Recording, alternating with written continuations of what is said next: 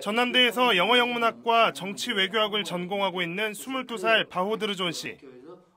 우즈베키스탄 출신으로 지난해 3월 학부 신입생으로 입학해 유학생활 2년째입니다.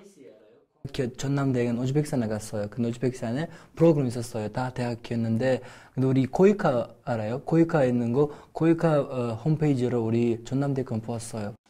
4년 전까지만 해도 전남대에는 우즈베키스탄 출신은 한 명도 없었지만 지난해에만 100명이 입학했습니다.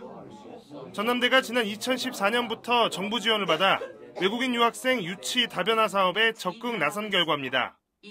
지난 2013년만 해도 전남대 전체 외국인 유학생 900명 중 73%인 660명이 중국인이었습니다. 하지만 올해는 전체 천여 명 중 비중국인 유학생 비율이 50%에 이릅니다. 조선대도 최근 외국인 유학생들의 국적 다변화를 꾀하고 있습니다.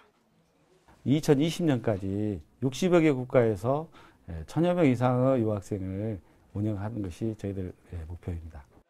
유학생들이 특정 국가에 편중되는 것이 바람직하지 않다는 지적과 함께 최근 중국 유학생들이 한국보다 미주나 유럽을 선호하는 경향이 커지고 있는 것이 유학생 다변화를 추진하는 이유입니다.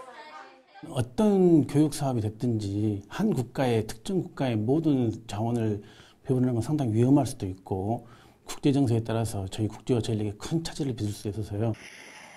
여기에 사드 여파로 불안정해진 한중 관계는 지역 대학들의 유학생 다변화 정책을 더욱 촉진하고 있습니다. KBC 김재현입니다.